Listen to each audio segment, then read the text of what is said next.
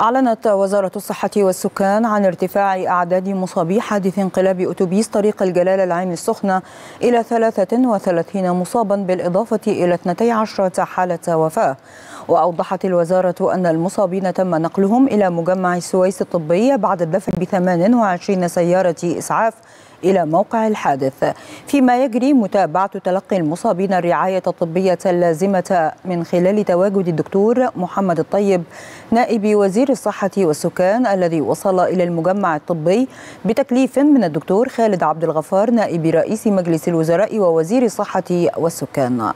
هذا وتقدم الدكتور خالد عبد الغفار بأصدق التعازي لأسر طلاب جامعة الجلالة الذين وافتهم المنية إثر الحادث الأليم متمنيا الشفاء العاجل للمصابين.